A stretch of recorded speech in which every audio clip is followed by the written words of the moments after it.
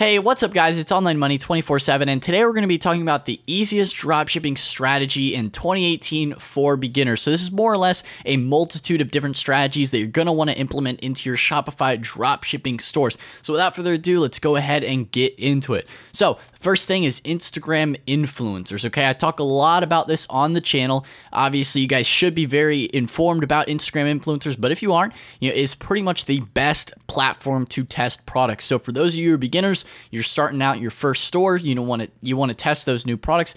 This is the best platform to do so because you can pay for a promotion and get pretty quick results because once you pay for that promotion, you're going to be sending people right to your website. You can see if a product works right away. Instead of with Facebook ads, they take a little bit more time to develop. They're also a little bit more advanced, so it's not as easy for beginners. That's why I recommend Instagram influencers when you're first starting out because it's a little bit harder to grasp. I have a bunch of other videos going into the specifics of how to do Instagram influencers on this channel. It's in the Shopify playlist. So you just go to my channel, check those out uh, to understand Instagram influencers more. But, you know, they're really great for beginners because you could get started, test that product product, see if it works. If it doesn't, try something else. Try another product. Maybe try a different page. You know, just whatever works for your niche. You want to do that uh, in the beginning, and then you know you could move on to Facebook ads. Try that out too. You know, the more ways, the merrier. You could also do YouTube stuff like that. A lot of different ways that you can promote a Shopify store but Instagram influencers is definitely one of the easier ways to get started. And when you do those promotions, you could also potentially be gaining followers that may buy in the future. So, say for example, here with the girl Malu Trevejo, I've used this example before, but with Brighter White, you know, someone might not buy the Brighter White product right away from her promotion that they ran, but they might follow the page and then in the future as they see more and more posts from brighter white they're like oh you know what? I actually do want this teeth whitening product and they go and buy it. So you might get follow-up sales later with your promotions because you're gaining followers off of this too. So you're gaining more traction than just direct sales. You're also going to be gaining followers that spread your brand, build your brand more overall. You know, you're having people interacting with your comment section depending on what type of posts you make.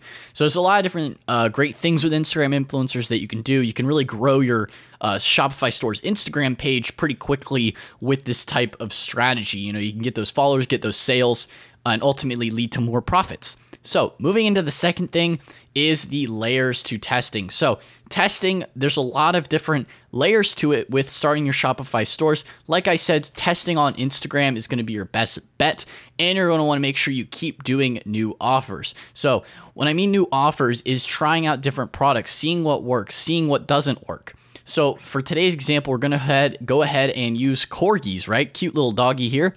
So let's say you had a corgi uh, store. That's your whole niche is focused specifically around the corgi dog. Now, I don't just say dogs in general because dogs in general is too broad of a niche. You know, you want to niche it down a little bit more, go more specific. So today's example is going to just be a corgi because they're cute, right? So say for example, you're trying to sell a corgi phone case, or there's a bunch of other corgi products that you could sell as well, but you know, phone cases are pretty popular. So I figured why not use a Corgi phone case as the example. So when you're testing your products out, and say for example the Corgi phone case sells really well to the Corgi audience, you know, people are like, "Oh, look at that cute dog. I want this phone case," right? That you don't stop there, okay? You see that it works at a certain price point, you don't stop there. You continue because you can raise the price steadily as you run promotions for the resistance point. I'm going to explain what the resistance point means, but when you run when you're running promotions, you want to keep raising that price to see if you could potentially make more money off of people because you know when I first launched a few of my products when I was starting out, I had the dang products too cheap. I started them out at like $12.95 and I saw a bunch of other stores selling like the same products and was like, "Hmm, they're selling it at 19.95, 17.95. Maybe I should sell my product for more money." And then I raised the price and people still bought it just as much. So you could be potentially making more money if you just raise the price. You don't want to compete on being too cheap. That's definitely a lot of beginners make that mistake. They're like, oh, I'll just be the discount store and make everything super cheap. Not a good idea. You want to go for premium pricing strategy. So, what I mean by this and the resistance point here is let's say you run the promotion, you run this product, this phone case for $9.95, okay? That's the actual price that you sell it at. Say it's marked down from like 20 bucks or something like I don't know. You could mark it down from anything that seems reasonable for someone going onto the website, right? You sell for $9.95, okay? It works at $9.95 with your promotion. You make a lot of sales, right?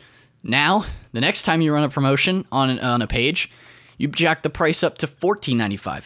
See how much it sells there. If you made more money, perfect. That that shows you that you haven't reached the resistance point yet. Okay? Then you go into the next run of promotions and you sell for $19.95. If people are still buying the product and you're making a total net profit of more money, because obviously you're going to have less people buying as you increase the price generally, but you're going to be making more uh, money per sale. You, you get what I'm saying? So like obviously you sell it at 9.95, you might make like a six dollar profit. If you sell it at 14.95, you might make a around eleven dollar profit. And at 19.95, you're making like a fifteen dollar profit. Or I'm roughly estimating, depending on shipping costs and all that kind of stuff, goes into it too. But once you reach the resistance point where you're making less money because you raise the price too high, then bring it back down and you play within that range there uh, to try and find like the perfect price point. Because it's going to take time too to find the right price point because, you know, you don't want to just say like, oh, it worked at 9.95, I got to keep the price there when you could be potentially making a lot more money if you just sell it for a little bit more.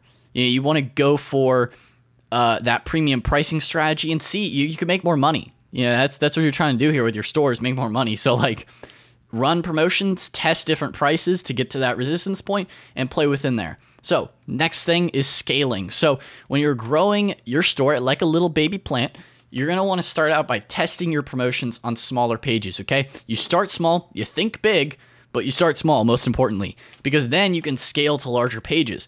Because when you're testing out your products, you don't want to run it on like a million follower page, pay like $100, and, and you're out $100 if you don't make any sales. That is not a good thing to do. You want to start it out on a small page. Maybe, you know, I, I have a I have an actual video going over different prices for different size pages as well on the channel. You go ahead and search for that. I think just like Instagram pricing online money 24/7. Something like it's it's in my Shopify playlist. But you know, you start small, maybe like 100,000 followers, 150,000 follower page, maybe even smaller than that. You pay like, I don't know, say 10 to 20 bucks for that promotion, and you get a good return. Once you've proven that the product works and you're actually able to make some sales off of it, then you can scale up to larger pages because, you know, that's how you make more money is by scaling it. You don't want to just get stuck on like, oh, I ran it on this page at this size. I got to keep the price the same. I got to do everything perfectly the same because it worked that one way. You know, you want to try and expand and go up. You know, you want to increase your sales volume. And the only way you're going to do that is by running it on bigger pages, increasing the price, you know, doing a lot of different types of tactics that you could use. Uh, but you want to keep testing. You don't want to get too comfortable with something that works. Once it works, play with it a little more. Because you know you play with it a little more and then it stops working you could always go back to what was working. You, you, know it's not exactly like you're at a lost cause just because you tried new things you know. Just be always trying new things with your scaling and with your pricing strategies. So next thing very very important this is the number one thing for beginners is don't waste time okay? I see so many stores that are trying to be perfect they're trying to watch like a million YouTube videos and they're you guys obviously watch YouTube videos, get that education, maybe get a course, you know. I will be offering courses at some point on this channel. I just have not done that yet. But like don't waste time um, by chasing perfection and getting analysis paralysis. Obviously, take the time to learn. You know, you want to understand all aspects of this business. But at the same time, you need to start your stores. Like don't just keep watching a million videos and then never start your store and never start your business because you're just wasting time. Like, get started so you can actually succeed because the biggest problem is people just never starting their dang stores.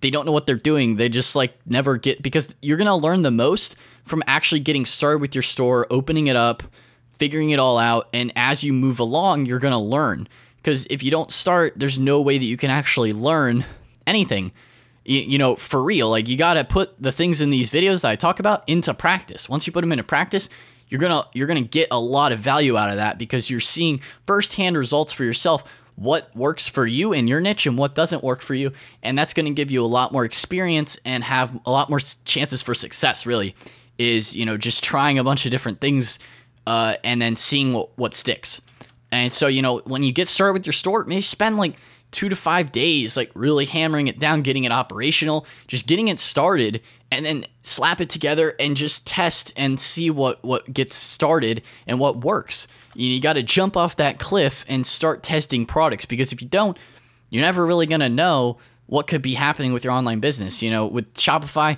it all comes down to just doing it.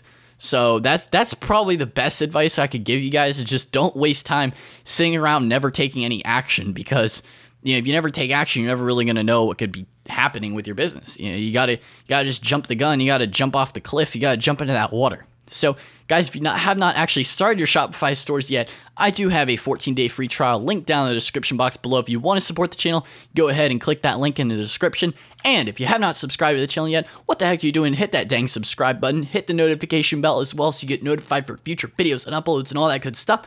Leave a like, leave a comment down below if you have any questions, comments, concerns. But anyway, guys, that's all for today's video. So I'll see you in the next one. Peace out.